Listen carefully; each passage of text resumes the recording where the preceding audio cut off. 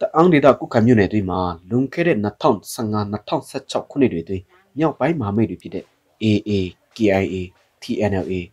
MNDAA နဲ့စစ်ကောင်စီတပ်တို့ဖြစ်ပွားခဲ့တဲ့တိုက်ပွဲတွေကြောင့်ဒေသခံပြည်သူ4000ကျော်ဟာနေရက်စာတိကိုစွန့်ခွာပြီးရောက်ဝေးကစစ်ဘေးရှောင်စခန်းတွေမှာလိုအပ်ချက်များစွာနဲ့တင်းရှောင်နေခဲ့ကြရပါတယ်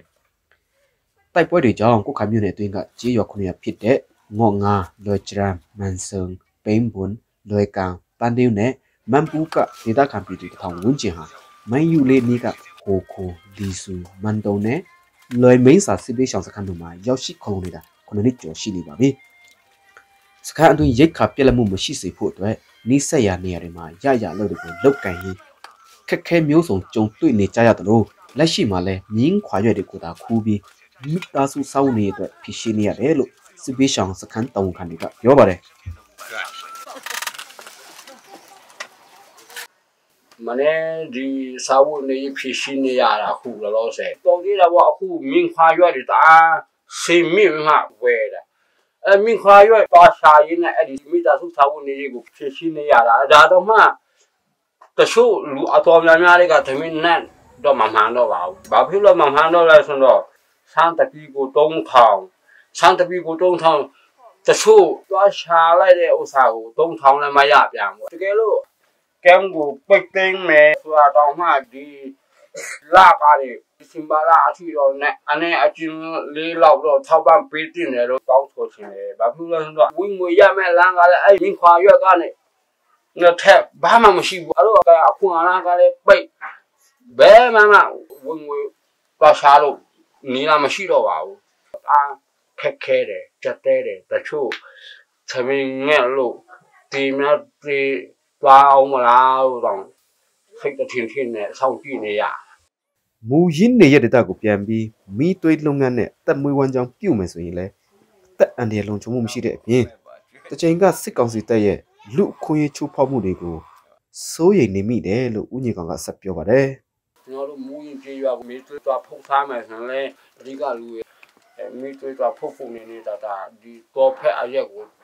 သွားဖို့ဘို့တော့မှမလုံးချုံတဲ့အခြေအနေတွေရှိတယ်ဒီတမတော်တွေကတရွာလုံးမိတော့ရှို့လိုက်တယ်ဟိုဟိုရွာရောက်လေတန်တန်ရာရာနဲ့နဲ့ဆက်ဆက်နဲ့ပြီးသူတွေကမခံနိုင်တော့တချို့ရွာတွေကအခုပြန်ဖို့နည်းနည်းတာတာဒီအဲ့ကြေးရွာဝန်ကျင် ဘိုးတော်မှာသွားမကဲ့ရဲဘူးသူတို့မိုင်းများထောင်းထားသလားစိတ်တထင်ထင်နဲ့မလုံးချုံဘူးလုံးဝကိုမလုံးချုံတာ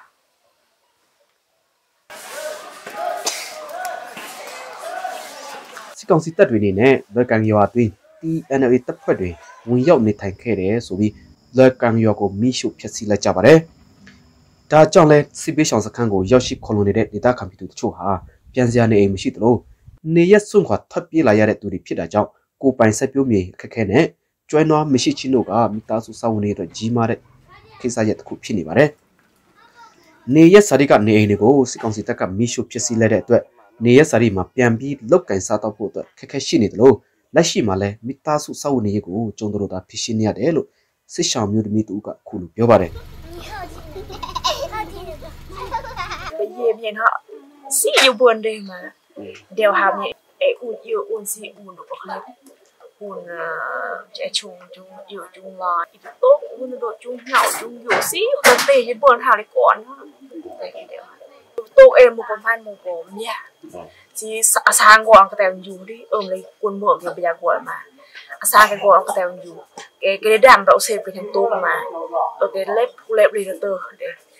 อยู่ một cái mó họ độ lại mà một cái lấy tu hòm tu hòm ý bộ gọi cho nên để mười vào chung lông hòm kia kia kỳ nó hòm nhỉ. Kỳ nó hòm lô, gọi hòm đấy gọi hát này ai gì phải cho nó mẹ đi mẹ đi để hòm. Cho nên không một em không có kẹp tập nó tập nó kẹp ăn không ai để gang cái tủ, đi vô về cái tủ, mà gầm tủ cái ngày em khỏi buồn khỏi ကုခံမြို့နယ်တွင်ကစစ်ပေးရှောင်စခန်းတွေမှာနေထိုင်တဲ့သူတွေကိုရက်ဖက်ဖွဲ့စည်းနဲ့နိုင်ငံတကာဖွဲ့စည်းတွေကကူညီထောက်ပံ့မှုတွေရှိခဲ့ပါတယ်။ဒါပေမဲ့ကိုဗစ်ရောဂါစတင်ဖြစ်ပွားတဲ့အချိန်ကလေးကကူညီထောက်ပံ့မှုတွေနှဲပါသွားခဲ့တယ်လို့အာဏာသိမ်းမှုဖြစ်ပွားပြီးတဲ့နောက်ပိုင်းမှာလည်းစစ်ကောင်စီကထောက်ပံ့မှုတွေကိုတားမြစ်ကန့်တက်လိုက်ပါတယ်။ဒါကြောင့်လည်းစစ်ပေးဆောင်ပြည်သူတွေဟာကူတူမဲ့နေတဲ့အခြေအနေကိုရောက်ရှိနေပါတယ်။တနေ့ထက်တနေ့မြင့်တက်လာတဲ့ကုန်စည်နှုန်းတွေကြောင့်ရေရှည်မှာစစ်ပေးရဲ့ကျိုးဆက်အငှက်ပေးဟာဆိုးရွားဆုံးချိန်ချမှုတစ်ခုဖြစ်လာနိုင်ပြီး စစ်ပေးဆောင်ပြည်သူတွေဟာလည်းကိုယ့်ရဲ့နေထိုင်စားသောက်ရေးအတွက်လာရောက်ထပ်ပံ့ပေးမဲ့သူတွေကိုစောင့်မျှော်နေရတာဟာရေရှည်အတွက်တော့အဖြေမဟုတ်ပါဘူး။စစ်ကောင်စီအနေနဲ့တအောင်းဒေတာတွင်ကမူဆယ်နမ်ခမ်ကုခိုင်နမ်တူနဲ့မန်တုံမြို့နယ်တွင်ကစေဘေးရှောင်ပြည်သူတွေကိုနေရပြန်ဖို့ညွှန်ကြားထားတာရှိပေမဲ့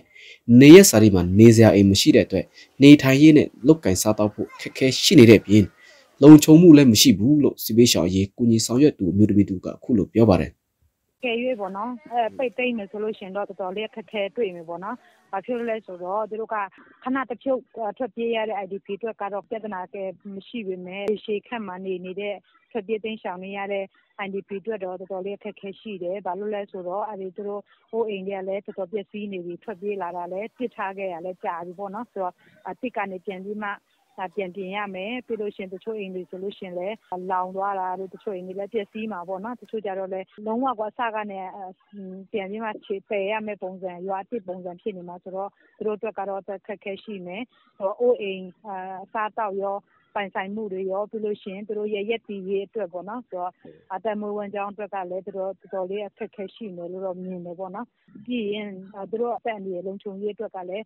ပိုပြီးမှ စိုးရိမ်ရမယ် ဘာလို့လဲဆိုတော့ခုခု သူတို့ကဟိုထွက်ပြေးတာကြာပြီမဲ့လေသူတို့အိမ်မှာဘယ်သူမှအရွာထဲမှာ ဘယ်သူမှ မရှိပေမဲ့လည်း မပြောနိုင်ဘူး ဒါက နှစ်ဖက်က စစ်ကြောင်းတွေ ထိုးတာလည်း ဖြစ်ကောင်းဖြစ်မယ် ဒါမှမဟုတ်လို့ရှင်လည်းဒီစကအရင်က စကစ ဘက်က အဲ့ဒီရွာမှာဝင်ဝင်နာတာလည်း ဖြစ်ကောင်းဖြစ်နေတယ်ဆိုတော့အဲ့ဒီသူတို့ဝင်နာတဲ့အခိုင်မှာ သူတို့ပစ်ထားတဲ့